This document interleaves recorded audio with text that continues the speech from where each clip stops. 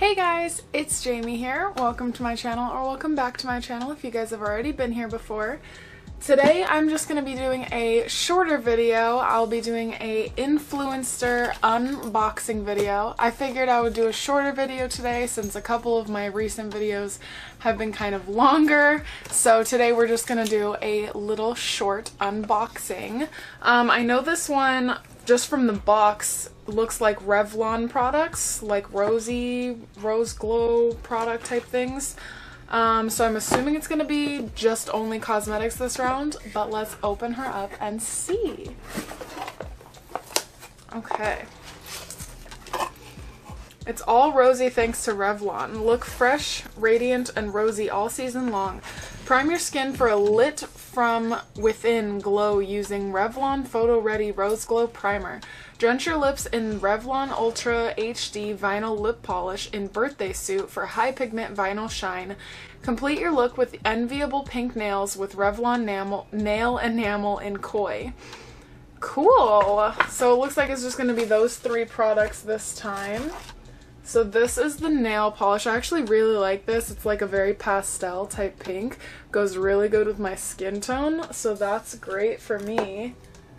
And then this is the primer. So it looks like it just has kind of a little like uh, tincture type. Oh, that's nice.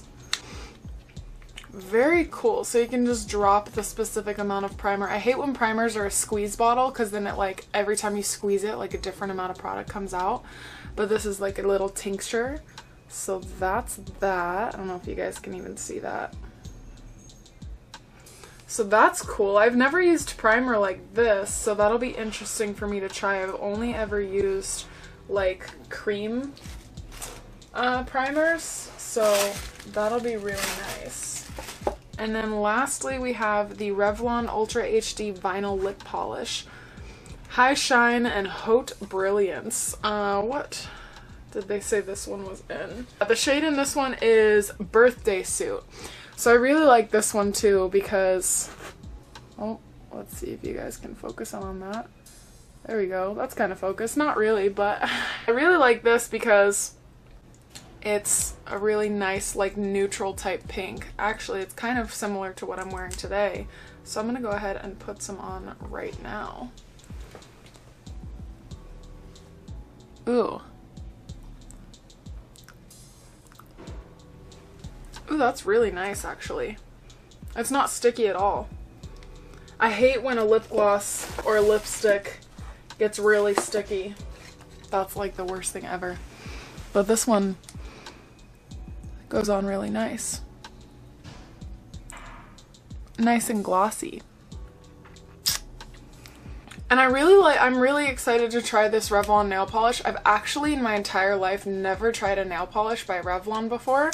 Nothing against their product, I just, I have never have worn Revlon nail polish before. So that'll be really cool. And I love this color. It's like super summertime, springy, but you can also kind of transition it into fall with like grays and things like that. So it's just a really good color to have in your color swatches of nail polish. Not that I need any more nail polish because I literally have a bin like this big full of nail polish that I never wear. So Lord knows why I have it. But I have it and it's there. And then again with the Rose Glow Primer, I'm really, really excited to try, try this because I've never tried one that wasn't like a lotion type primer. And there's a lot that comes in this bottle. Like it's not completely full to the top, like it doesn't go all the way up to here, but it's probably like right there, full with product.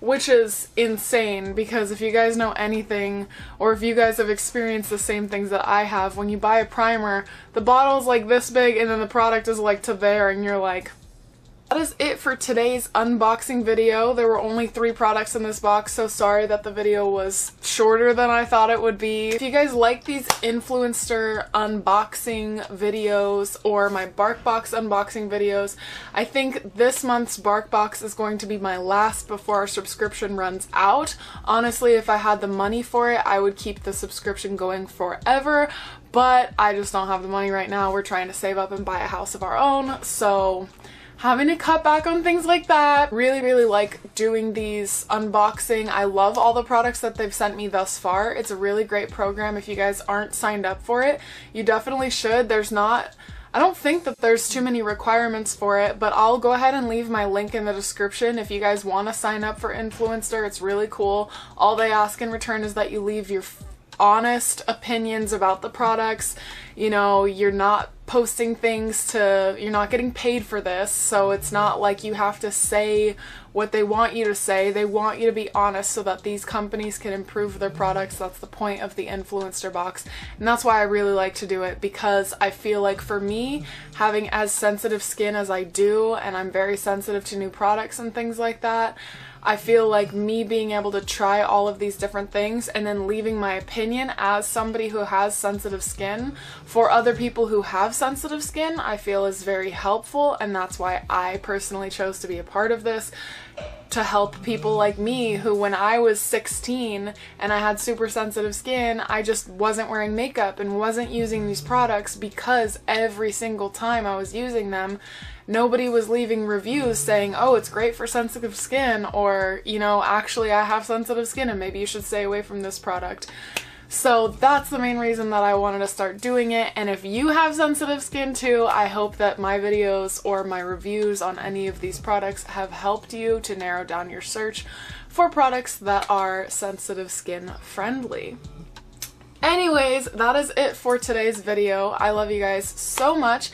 Thank you for all of your love and kindness and support, and I'll see you guys in the next video. Bye!